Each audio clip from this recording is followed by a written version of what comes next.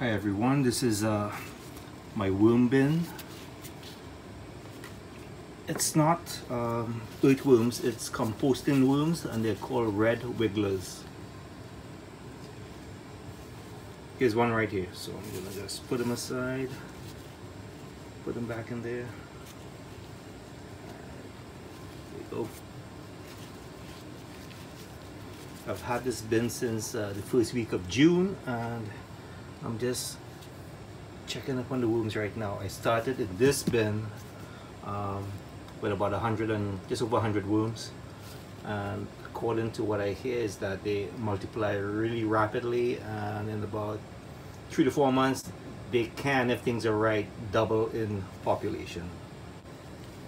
What I'm doing now is fluffing the bin just to get some moisture in there and looking for eggs or cocoons actually.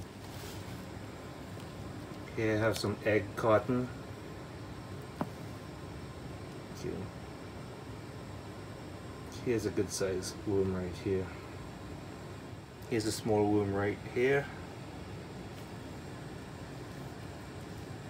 I think they've um, grown a lot in numbers because there's a lot of babies in here but I'm looking for cocoons which I plan to separate. Oh, right there is a cocoon. See it? This little green thing that's a fresh cocoon probably just released from a matured adult. Okay. Oh here's an adult right here. Okay. Right? This little bulgy thing it's called a clitellum and that is the sexual organ of the worm once you see that little bulgy thing you know that it's uh, close to maturity or it's matured and he can he or she can start making babies uh, each worm has both sexes, believe it or not, they're hermaphrodites, but it takes two worms to still uh, make babies. They exchange sperms and whatnot. So I'm gonna say to this guy, go find a friend and get busy. Here you go. Good boy. Or girl. Alright. Let's see. Oh yes, they seem to like egg cartons or you know cardboard. Here, here's a lot of worms hanging out on the moist cardboard. All right, similar vision time. it, it doesn't smell bad. If you go into the forest and you smell the earth, it's just like that because it's all it's all good, natural waste products from the worm. Whoop oh, here's a piece of corn and they don't really have teeth but they uh they like sweet um, sweet fruit and sweet corn. So here you see little babies and some you know matured ones hanging around corn. They're working out on this corn right here. I think I put this about two weeks ago so it's they're slowly feeding on them. I don't have a huge number of worms so it takes them quite a while to go through the food and the important thing is not to overfeed them because if you overfeed them the food will rot and it will form an acidic soil which is not healthy for them and they will die. Okay here's a little guy right here. Oops. You'll be fine don't worry. All right. So that's good. That's a good thing. Mm -hmm. Any big ones in here?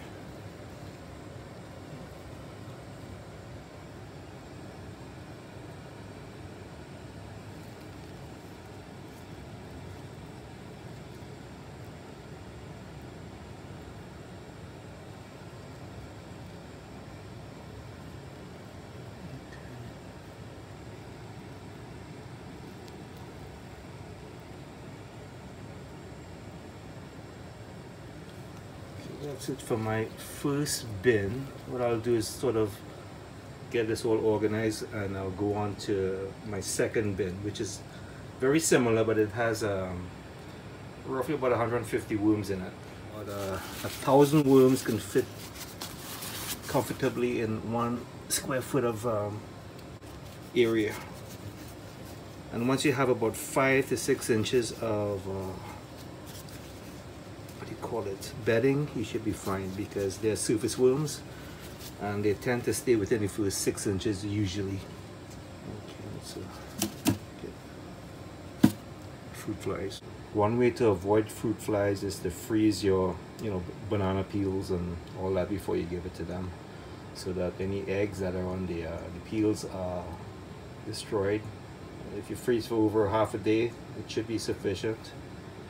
Okay, so here's another fruit fly. Don't like you. Okay, you're gone. Okay, let's see what we have in here.